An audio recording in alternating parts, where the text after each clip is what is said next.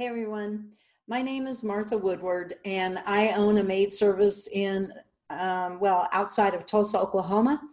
I live in Kansas though, and I have been very much an absentee owner for years, but even more so, probably the last year. I go to, well, I don't even hardly go to the office other than to drop off supplies now and then. Um, when we run out of in- inventory because my management staff is totally remote as well. And so I see my staff once a month, and it's for fun activities, usually outside of the office or staff meeting. So that's who I am, what I do. Some of you know me, I own quality driven software, which will come into play in this talk a little bit, but everything that I talk about, you do not need quality driven for. Um, I will warn you that I the slides are not like these slides that have tons of information. They're just to guide me along in the topic. So really you're just going to be taking notes. And then the last part of business is that I'm going to turn off the camera and just talk to you because I think it's distracting and uh, it's distracting for me, it's distracting for you. I'm used to talking to an audience, but for now, I'll just talk to a screen. So, anyway, I'm going to go away, but keep talking. All right. So, here we go. So, creating a self running quality program where people just do what they're supposed to do when they're supposed to do it. That's what I'm here to help you with today. First off, let me ask you again, usually I'm looking at an audience, but how many of you love your business and your employees right now? Does anyone feel like they're held hostage by their employees in their own business? I don't know about you, but that's not what I imagined when I left my corporate job to open my own maid service. I thought I'd be the one steering the ship with the help of my supportive employees. But boy, was I wrong. At least for those early years, I was wrong. The good news is you can have all that, and it's actually pretty simple, straightforward process, but you have to do the work. And how do I know it? I know it because I was you. My first few years in the service business were living hell. They really were. I cried more times than I've ever cried in my lifetime and I've gone through cancer treatment. And I can tell you that the anguish that I felt going through chemo didn't hold a candle to the anguish that I felt in those early years of my business. And the reason why is going through chemo, I felt like, okay, this is a solution. This is what I need to do to get to this outcome. Whereas when my business kind of felt in the pit of despair, I didn't know a way out. I just didn't see a light at the end of the tunnel. I recently read a study in Inc. magazine that said only 43% of entrepreneurs felt happy at work. And that's actually about 15% more than employees working at a corporate job. But I still think 43% is pretty crappy if you ask me. I mean, we are pursuing the American dream, being entrepreneurs and steering the ship in our own business, right? Well, supposedly so. So, what about you? Are you happy in your business? Do you feel like you have control over the business? Do you feel like you're drowning in the sea of horrible employees?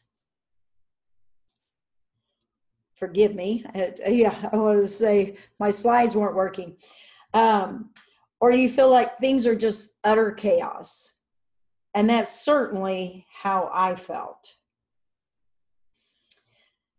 But don't worry, I'm going to take you through the process that I use to climb out of that pit of despair to a culture that really doesn't require management staff there at all in the day to day world. Now, you don't have to do that. You can certainly be in your own business and be there every day. But just getting things to run more smoothly will make you enjoy your business so much more. So let's talk about what it was like back in the day. Attendance, I had attendance. I had attendance problems for sure. I had an attendance policy, but let's get real, I didn't follow it. My attendance policy was basically that I knew who was going to be at work when they showed up that day. Like when I saw the whites of their eyes, all right, that was kind of roll call for me. And um, that was a terrible way to live. Quality, again, it was kind of a hope and pray policy. Um, I would send them out to the jobs, prayed that none of the clients called to complain, and called that a good day. An attitude, that was really the only core value that I didn't suck at. I didn't allow blatant disrespect, but I allowed way, way too much and my de- my employees definitely ruled the roost. I knew things were out of control, and I honestly hated going to the office.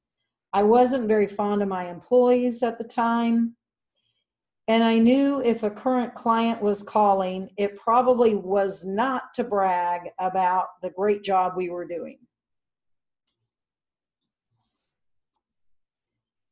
Does any of that sound familiar? And if it does, who do you think is control is in control at your company? It's the employees, right?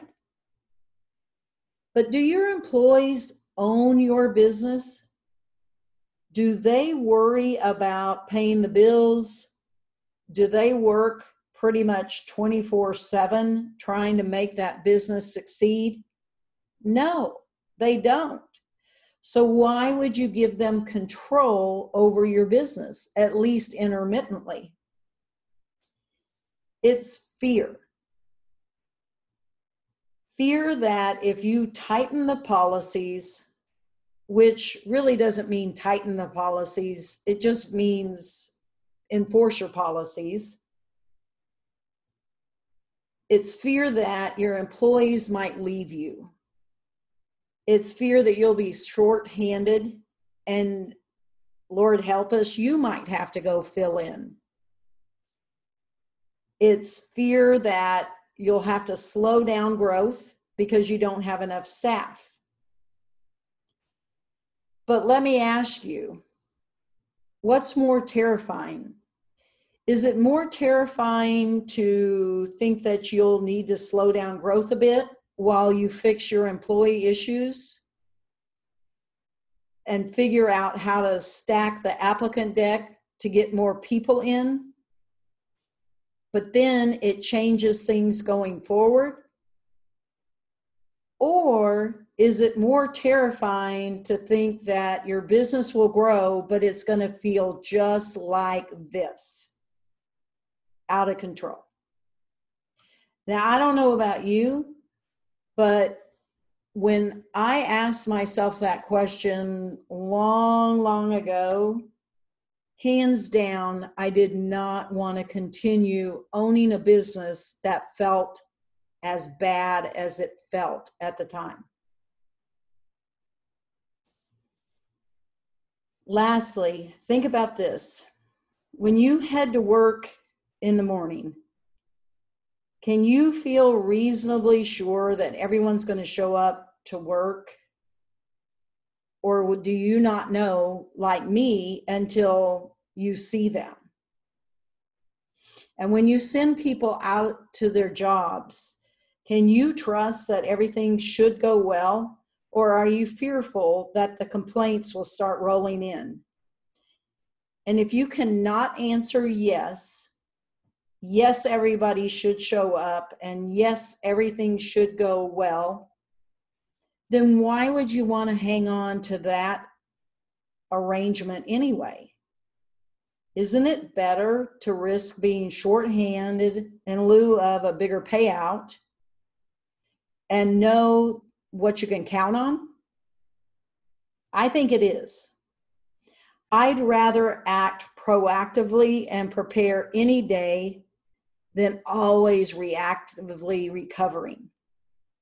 Because being proactive, even if it's bad, you're in control, whereas reactive, you're at the mercy of others. So, the turning point for me in this whole chaos thing was the busiest week of the year, the week before Thanksgiving.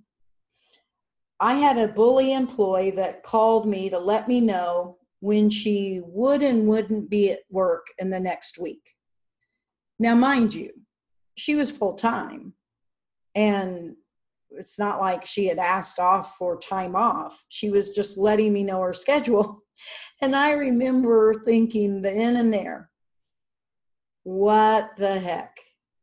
I mean, it really was my wake up call to who's in charge here and that I had totally lost control. It was the last straw for me. And, you know, it was a godsend because that's when I got myself together and started turning things around.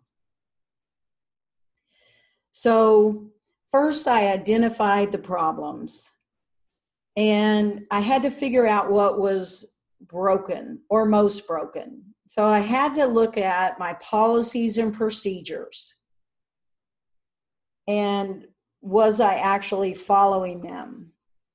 And I had to look at my training issues, you know, was I, did I have a plan with training? Was I consistent?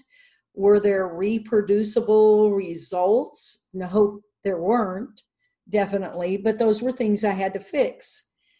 Um, you know, I had to identify that I had people there who were poor cultural fits, and I was allowing them to stay. And lastly, we had a culture of mediocrity. You know, it was just average was okay in my company back then. And I really didn't work on um, thriving, we worked on surviving. So I first dusted off my policies and procedures and I started rewriting my policies based on what would my policies have to look like where my best employees could stay so that I could consistently follow my policies and keep my best people. So, how many absences is that?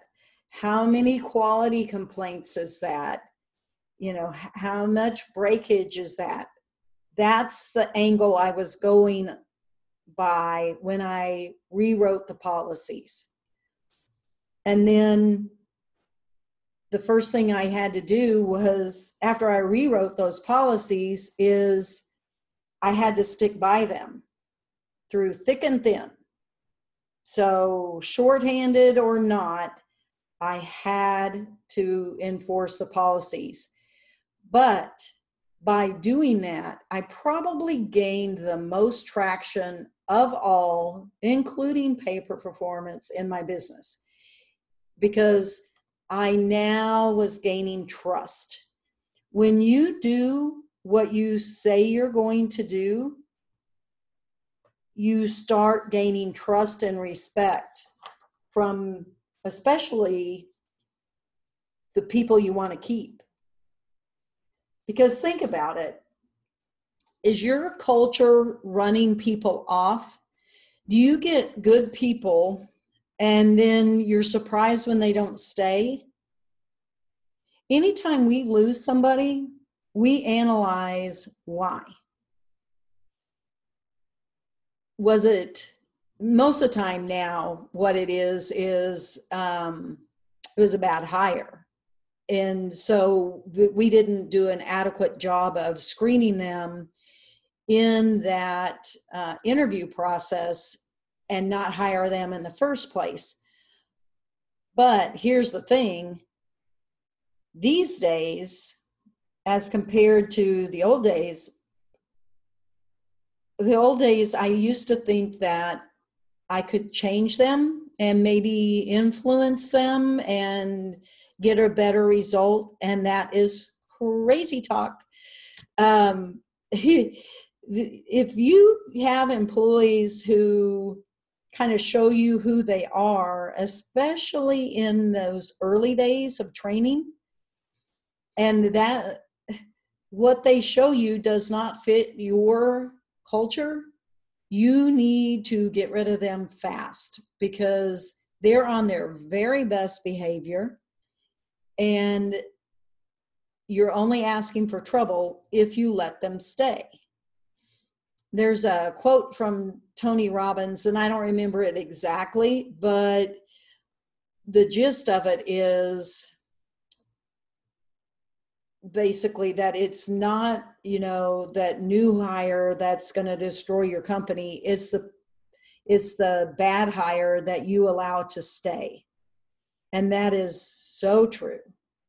You can do your company irreparable harm by keeping people who you should not keep. I, I, just truly believe that's probably the biggest error that you can make. And here's the thing when you do start to believe that and you do start to let people go like you should, that you know you should, then you gain so much trust and respect from your employees. And the other thing that happens is um, people start to believe you. So they're going to either toe the line and do what they're supposed to do, or they'll probably end up quitting before you fire them because now they're like, she's she really means it. She's going to fire me. And so they'll make up some excuse and they'll leave you but it's because they know that the writing's on the wall that you're going to fire them. So you have to be consistent in everything you do.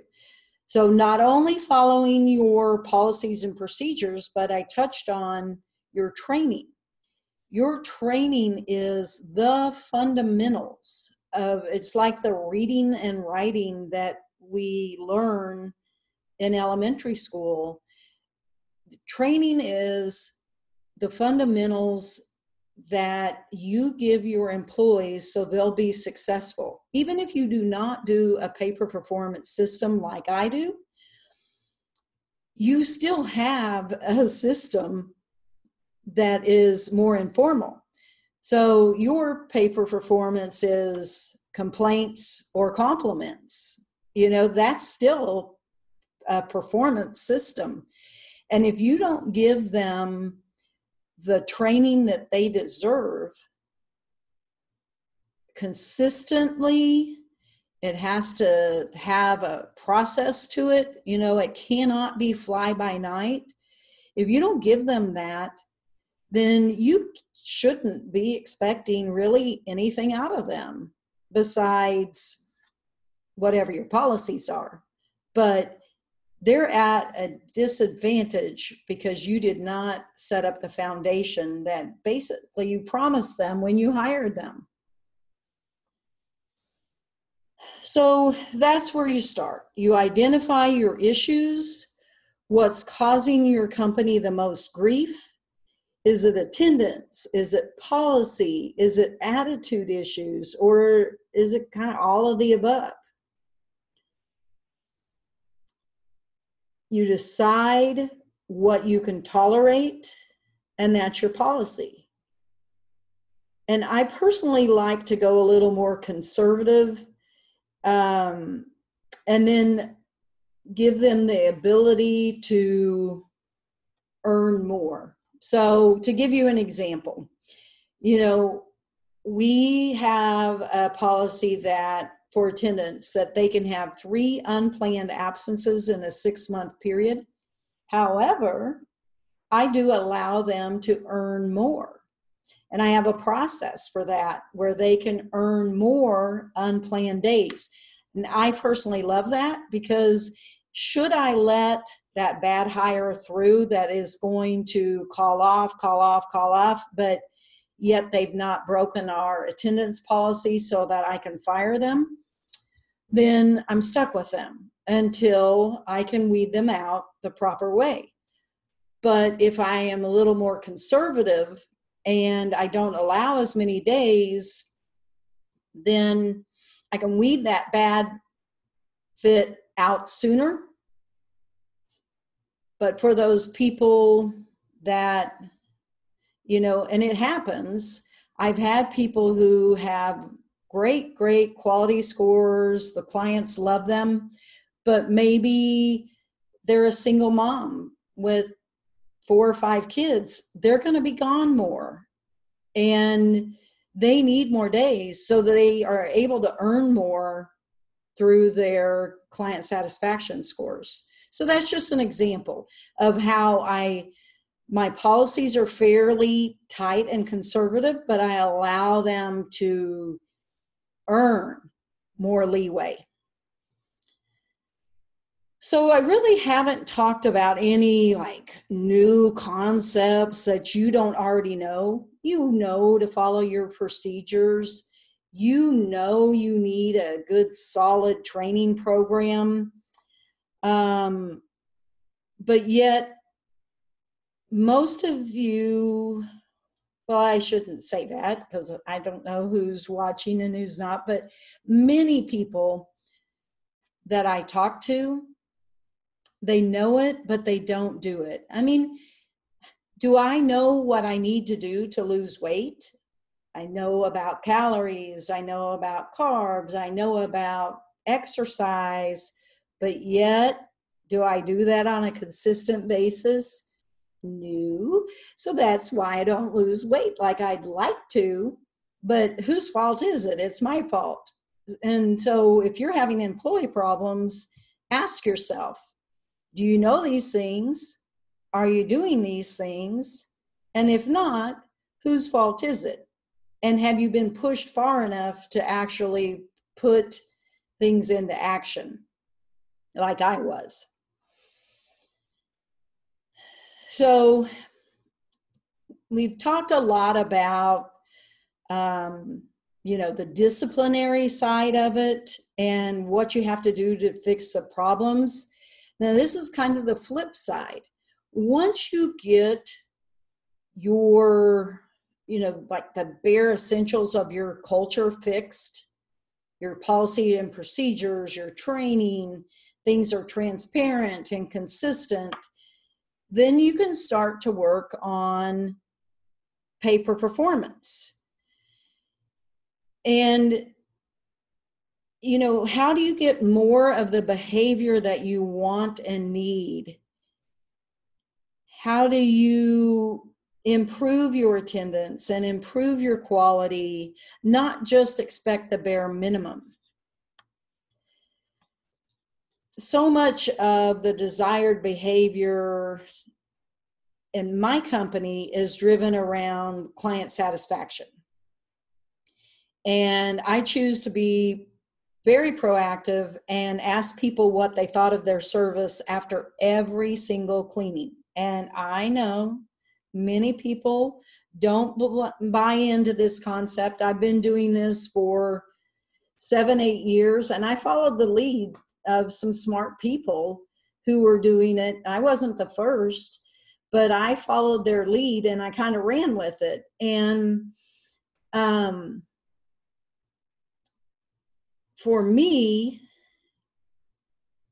I wrap my head around the fact that I might as well ask the clients what they thought, even in the days where our quality was in the toilet. I still wrapped my head around the fact that I needed to go ahead and ask them because whatever they were thinking it wasn't like it was going to pop in their head because I asked. They're already thinking it and probably complaining about us to our friends, to their friends. And I needed to know. So I started asking.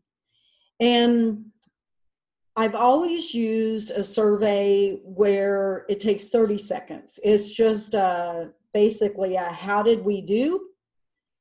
Click that emoticon smiley face thing that corresponds to how we did. You know, it has wording and stuff in there too. But that right there, that's all it takes. And we get our clients to buy into the fact that they get so much back from this. And they do. I mean, when I started seven, eight years ago surveying, like I say, our quality was in the toilet, and we have come up a full point out of four on the scale of four.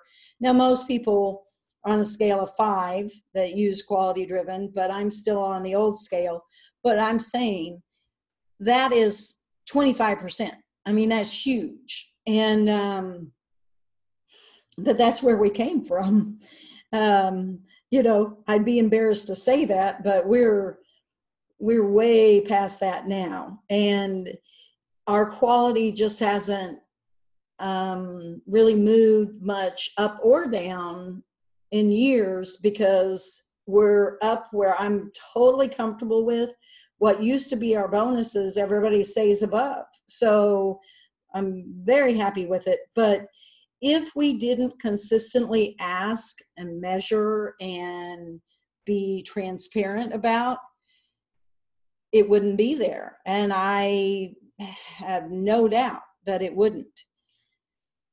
So we use quality scores as a huge part of how we run the business, and it allows me to be an absentee owner because I can watch those scores easily.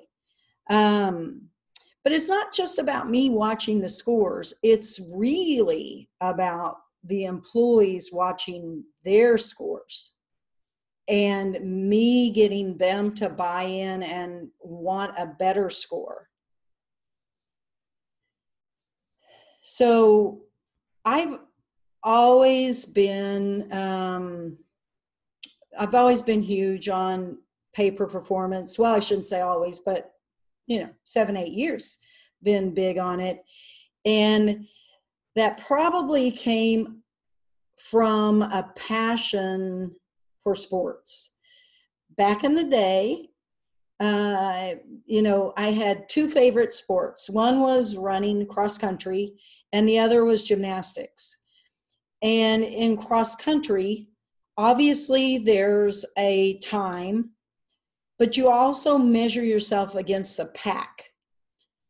And when you're finished running, you get your time, but you also got this medal, and you knew like they announced your name and you'd get a medal and you would um, know how you scored in the pack. You know were you third? Were you seventh? You know and and how did your score compare? And then um gymnastics i mean talk about scores. It's down to like the tenth of a decimal, or I'm sorry, the hundredth of a decimal, actually. And, you know, any little bent knee, non pointed foot were deductions. And I think from that background, data and scoring has been huge to me but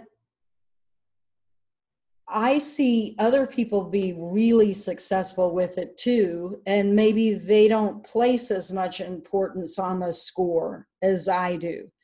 But sports do teach you to keep score, and actually, life teaches you to keep score. I mean, we grew up in school getting graded, and in my case, if you're lucky, you knew how you did compared to the top score and the average score and the low score. Life keeps score, and your employees crave the data. So, in my company, the way that I apply that is we absolutely have a minimum tolerated type of policy. So, we have the policies and procedures that say, you need bare minimum of this score and you can't have more than this many complaints. And that's what will keep you out of trouble. But we also have measures in that we want people to know like how they can get um, promotions and bonuses and things like that so scores do drive performance and it's really the data that drives the performance. And what i mean by that is sure they can have a score but if they can't see the data like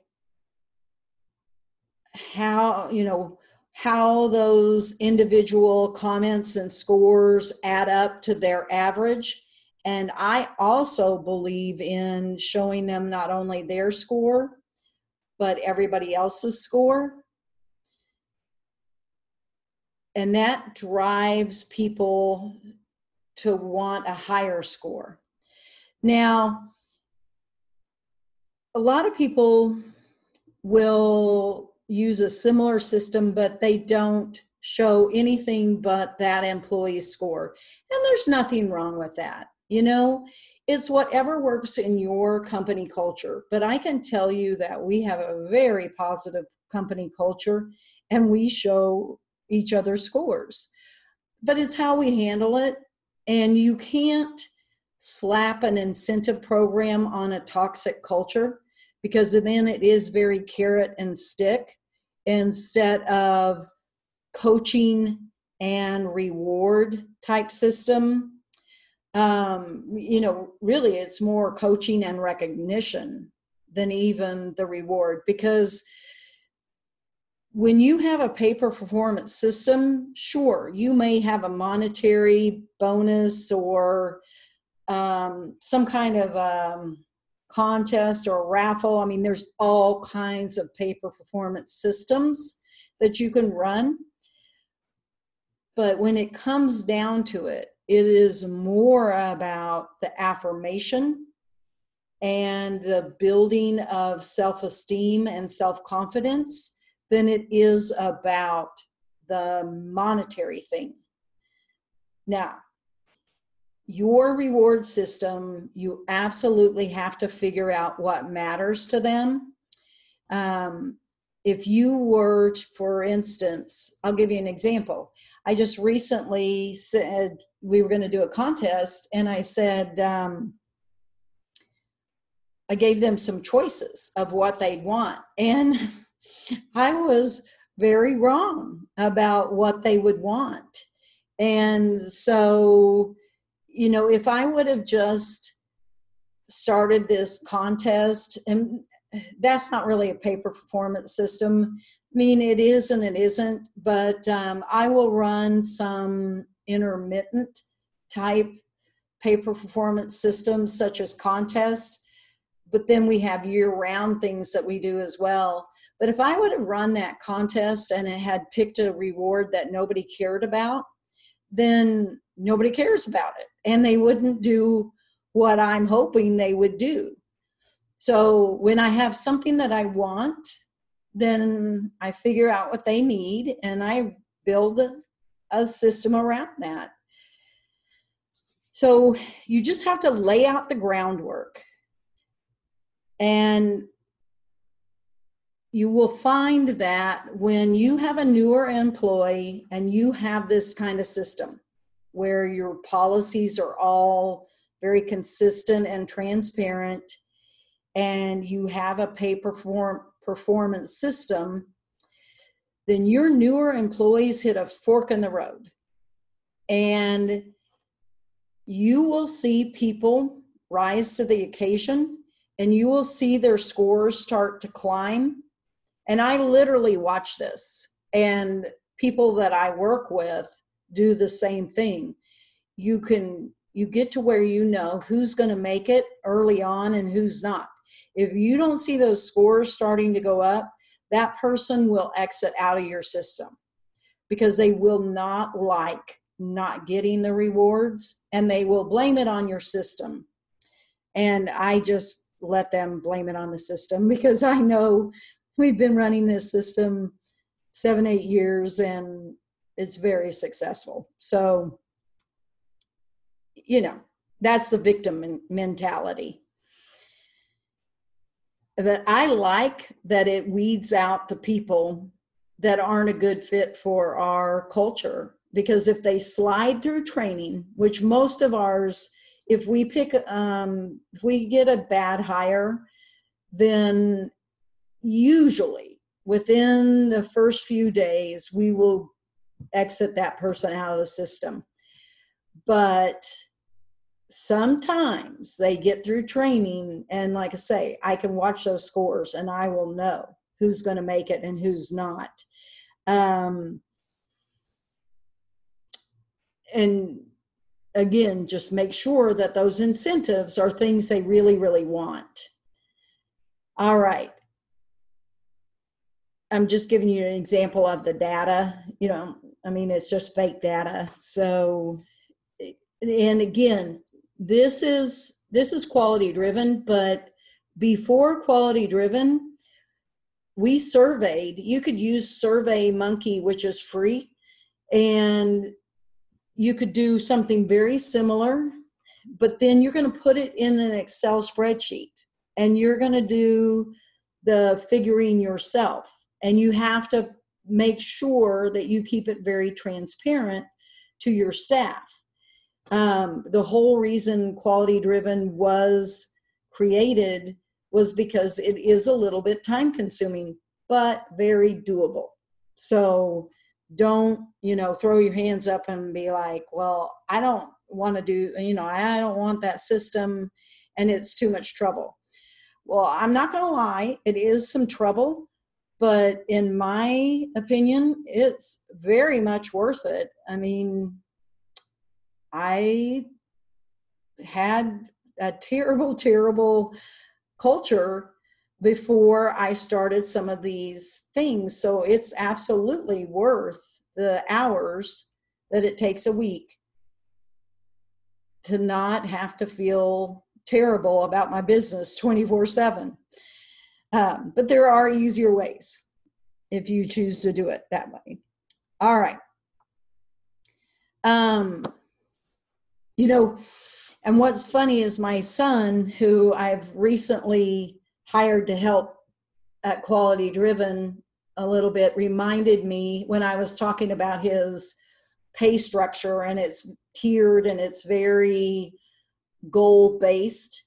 And he started smiling and I asked him what he was smiling about and he said, You've already you've always paid like this. And he reminded me that very, very early on in my company that um, you know, when marketing dollars were really tight and we were doing door hangers. And I remember distinctly, I had ordered, well, I didn't until he reminded me, but I had ordered 1,200 door hangers and they had something time sensitive on there.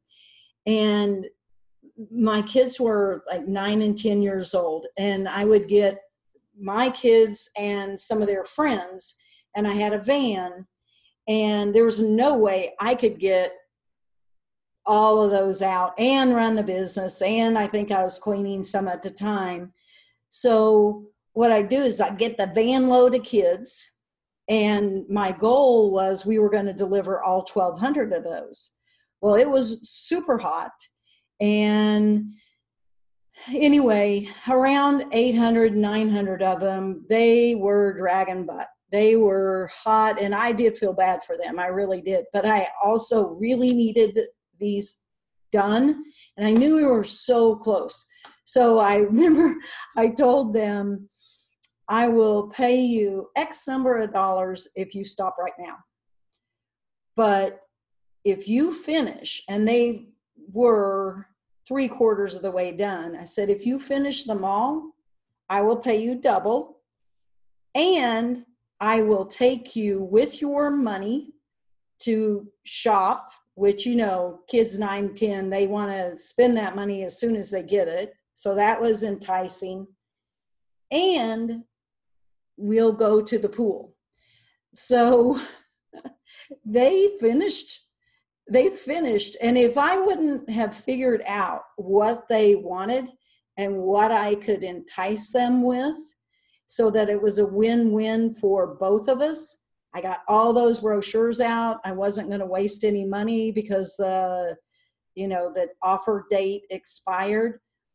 And they didn't hate me because you know at the end of it it was like i got double the money. I got to go to Walmart or Target or wherever we went to spend their money and they got a pool party. So he's right. I have always believed in this system to it's like you can get people to buy in to what you need because they're getting what they want.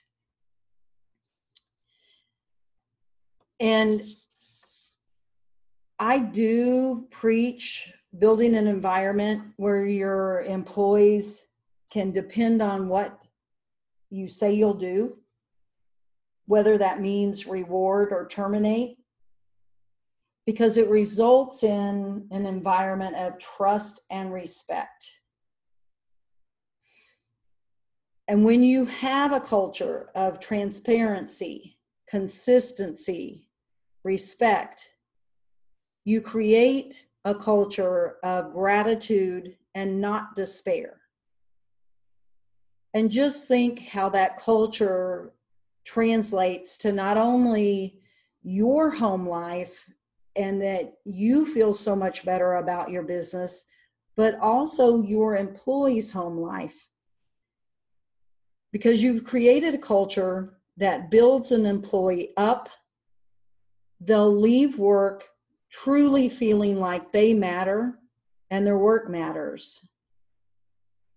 So just imagine that employee will now go home to their kids and maybe they'll have a little bit more patience helping them with their homework assignment or make the time to listen to their kids talk about their day. And that has such a ripple effect so you're not just influencing how you feel and and your family but you're influencing other families. And i i know it's kind of a pollyanna way to look at it um but i know that your company culture not only affects you but it has an effect on your employees and a ripple effect on both of your families. So I urge you to start building that culture where things are more transparent, that you let people know how to stay out of trouble and they don't have to guess if they're getting a bonus.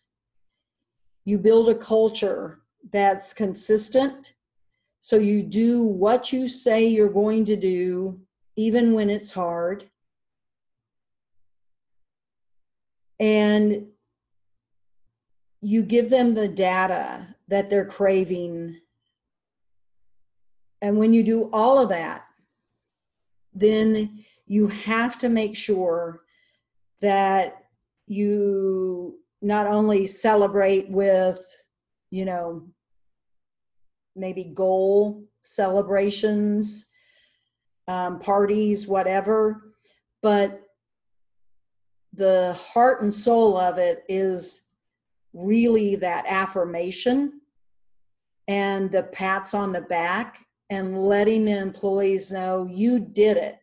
I am proud of you and you know feel so good about yourself. And we don't say it in those words, but it's the constant affirmation that we give them. And so we don't harp on the bad things. We really drive our culture around the affirmations. And we have a whole system of how we make sure that's in their face, you know, um, that if they're not earning those rewards and affirmations, then they see others getting that, so they want it. And if you reinforce the behavior that you want and need with those attaboys and the celebrations, then you're going to get more of that. I can promise you. And just remember, it is simple, but it is not easy at all. It's going to be so hard and you're going to want to quit you really will it's you know again it's like a diet you know it's not it's not something that you can turn on and off. And when i say diet uh, it's a your culture turnaround is just like your turnaround in your eating habits. You can you know it's a similar kind of process. It is a day in day out you know toe the line, stick with it kind of um, situation.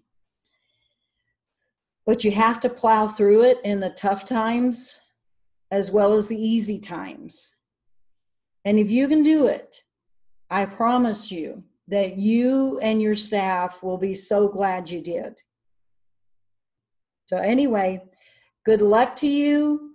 Um, you can reach me through the Quality Driven Facebook group or um, Martha at qualitydrivensoftware.com. I will warn you, I do get a lot of emails, so be patient. And if I don't answer you right away, you might have to ask a couple of times, and it's nothing personal. But um, hmm, I run three businesses, so it's really busy. So just bear with me. But uh, anyway, I hope that I've hit home if you need some of that help. And I do wish you the very best. And thanks for listening.